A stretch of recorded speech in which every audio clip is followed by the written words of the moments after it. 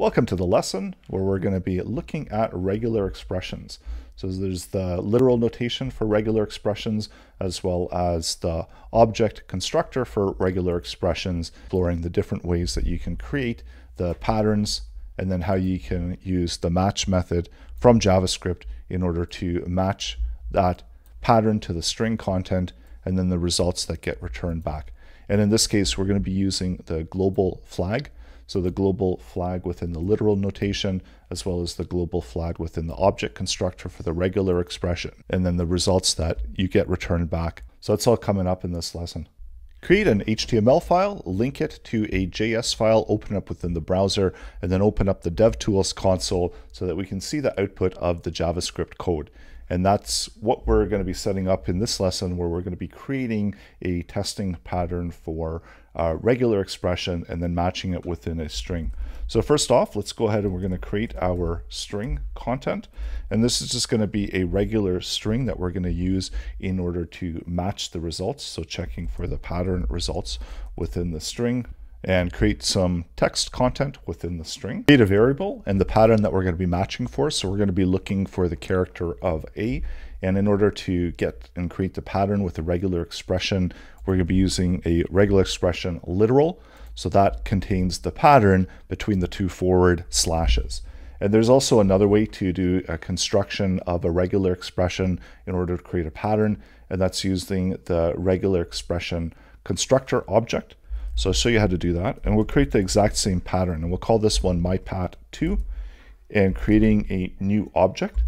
Create new objects with JavaScript. We use the keyword new and then using the regular expression in order to create the object. So that's reg and then uppercase, camel case, e, and then within here is going to be the string value of the pattern that we're matching. So we're not using the forward slashes, but we're just using a string value. And using the object constructor, typically that's used when you expect the pattern to be changing or you're getting the pattern from an external source. So it's a lot more simpler if you're just using the string value in order to use the regex constructor object. Or if you already know the pattern, then you can just use the expression literal. So you can either use either one and it's going to result in the same thing where we're returning back the pattern that we're looking for within the string value. So next up, we want to use a method in JavaScript in order to utilize the pattern. And we're going to be taking a look at what we can do with the prototype match, the string match prototype. And this is a way that we can match a string result against a regular expression. Create the first result and selecting the string variable and then adding in the match. And then within the argument, we need to include the pattern that we want to use in order. So that's going to return back the result. And for now, we're just going to output that result into the console. So that's the result that we're getting. We retrieve back an index value of where the letter A is first found within the expression. If you have multiple A's, so just update that, it's just going to return back the first result.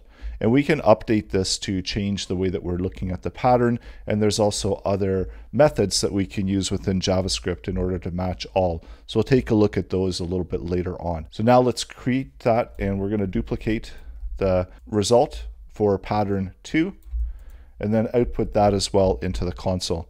And as we can see, both of them produce the same pattern and they produce the same results when entered into the match method in JavaScript. Now that we've added more A's into the string and we notice that it's only returning back the index value of the first matching result, it's also returning back an array with the first matching value that we're looking for. So we can add in additional flags and they allow us to add additional parameters within the pattern. So adding in the G is going to look for all of them globally, and this returns back a result of the two A's. So that's just returned back within the pattern that we're matching. And this is a result that's being returned back from the match.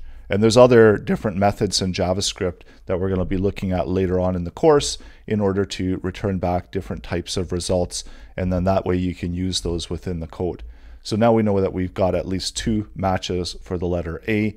And let's also add in the global flag into the regex object and the way to do that is to separate it with a comma and then adding in the flag. And this is also going to be expecting a string value. So looking for the global, these are going to be two of the same, and we're going to be looking for the same pattern match. There's also with uh, ECMAScript 6, there's another way to do the pattern match. And with the object, we can look for the object using the backslashes instead of the string with the quotes. And the flag is still going to be written the same way with the as a string value. So let's return back the results for the third way, which is a combination between the literal and the object constructor. And that as well is going to return back the exact same results into the console. So this is just a simple example of what we can do with regular expressions. Also, let's update the pattern that we're looking for. So we'll look for the word new and update all of patterns in order to look for that word new. And then also like adding in another few news. And these are all going to get returned back as results for the patterns when we're looking for the match within the string. To get more comfortable with creating the patterns for regular expressions and you'll be ready to move on to the next lessons.